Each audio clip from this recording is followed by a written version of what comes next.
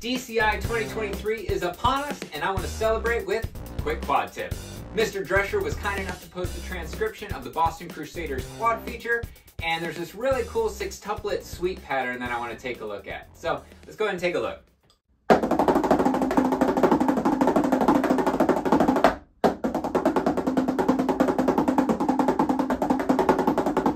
So if you were to play this on a snare drum, it's basically just a triplet tap roll, right? But, of course, we play tenor drums, so we got to add a bunch of sweeps and all sorts of craziness. So our tap roll is going to start down on drum four with a right tap, and then our left hand is actually going to do some kind of awkward inward sweeps. So we start with our right, and then our left goes from four to two. Our right hand goes from two to one, and then our left hand does another inward sweep two to one. And then our right hand goes over from two to one. And then we end with a double left down here, also with the release. So triplet, triplet, release. Now make sure you're approaching these with a downward motion because it's super easy to hit rims on these inward sweeps. And maybe one way to easily remember how to play this is all the sweeps for these first two counts go in this direction. Triplet, triplet, release. All right?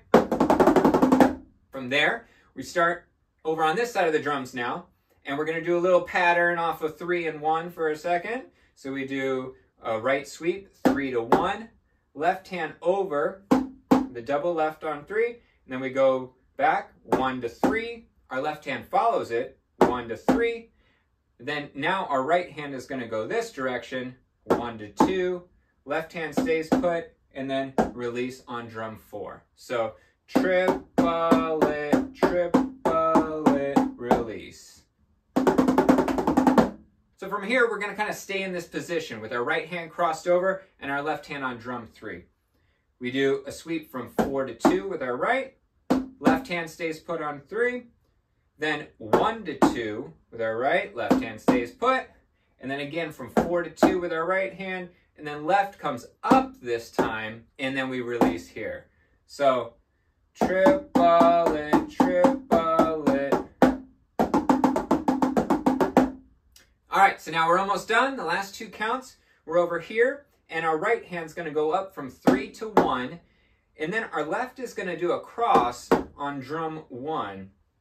So your right hand is actually almost doing like a triple stroke motion because we go up and then we have to get out of the way of our left hand to bring your right hand over to drum two. Trip, okay. And then we're gonna do two to one with our right. Left hand's gonna follow it, two to one.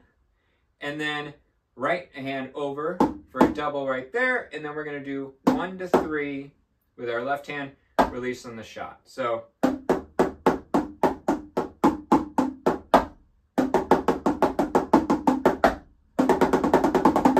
All right, and that's it. So take your time with this one. Sometimes when you're playing a bunch of sweeps, it's easy to add even more sweeps to the music. So take it slow, make sure you're playing what's written, and if anything's giving you trouble, isolate that section and slowly add on counts before and after it until you can play through it nice and seamlessly. Until you have this one memorized and in your hands without hitting rims, there's no need to go any faster than 80, 90, 100 beats per minute, okay? So have fun with it, and I'll see you on the next video.